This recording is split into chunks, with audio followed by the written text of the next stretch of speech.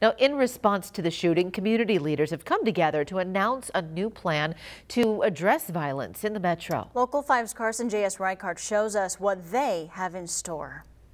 One person was killed and another two are injured after what's being called Des Moines' fourth homicide of the year. But community members are stepping up with plans to stem the tide. The work didn't just start yesterday. It's been going on and it's been happening, but we can't do it alone. We have to do it together. Tuesday, leaders gathered at Creative Visions in Des Moines to reveal their plan to address the violence. Speakers included legislators such as Representative Ako Abdul Samad, Isaiah Knox of Urban Dreams, Yvette Muhammad of Creative Visions, and Reverend Rob Johnson. They announced the formation of what they're calling a violence think tank. We're talking about getting out the whiteboards. We're talking about reaching out to other states.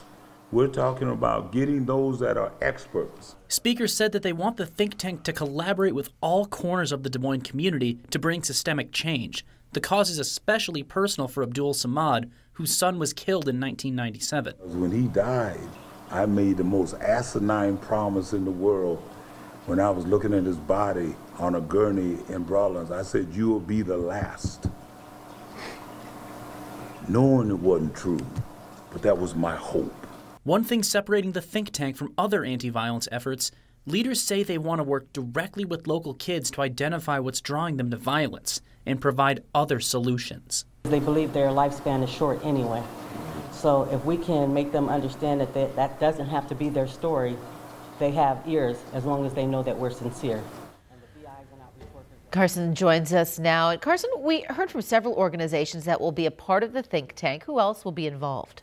Yeah, Steph, it's not totally pinned down yet, but Representative Ako Samad told me, Abdul Samad, apologies, that he they're going to be casting a wide net. He mentioned looking at local businesses like Kum & Go or Casey's, pretty much anyone and anyone who is willing to help. And we know there's plenty of work to do, so the more help, the better on this one. Absolutely. Right. Carson, thank you.